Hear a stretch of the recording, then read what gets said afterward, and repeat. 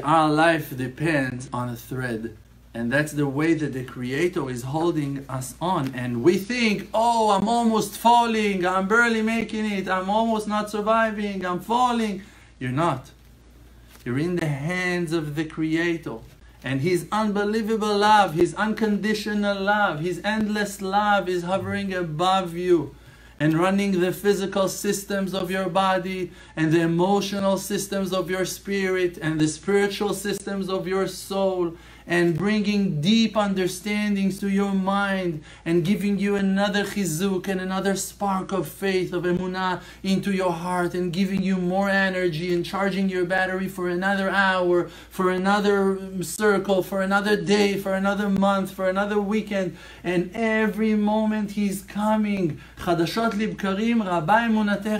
Every morning He's renewing our spirit with more faith with a little bit more understanding, straightening our understanding to, to, to, a, to a, a further distance and aiming our heart to a higher purpose in life. Think about that. Think about how precious you are in the eyes of the Creator. When you disrespect yourself, when you are not appreciating who you really are from a spiritual aspect, from the important side of your soul, for how important you are in the eyes of Hashem, that His eyes are the eyes that can see and recognize the truth. When you're denying His truth, when you're contradicting His love to you, on you, by that you are shutting off the light of Hashem. You're blocking the light of Hashem. Because the light of Hashem is the light that is treasured inside our bodies. It's the light of our souls. The light of the righteous ones that illuminated the world with their faith, with their knowledge, with their righteousness. What was that light all about?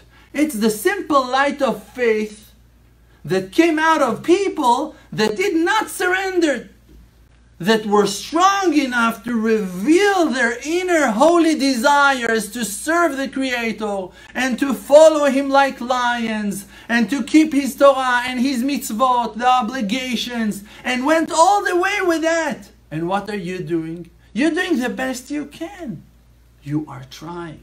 It's a fact that you are sitting right now and listening to words of Torah words of emunah, of faith, that you are a truth seeker. What are you seeking now, if not the truth? If not another battery to charge yourself to find a way how to serve stronger, with more meaning, with more intention, or else what are you doing?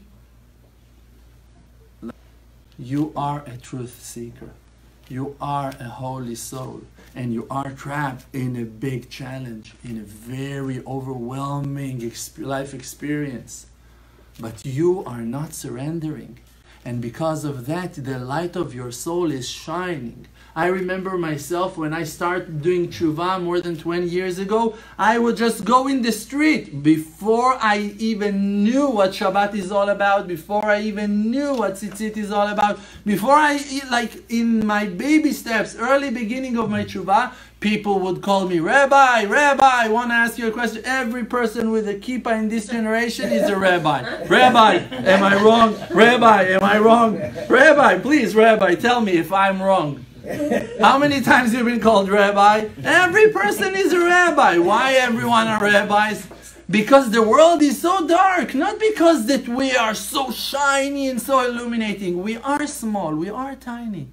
But in this darkness, a small candle can be so useful and so great because people are so lost.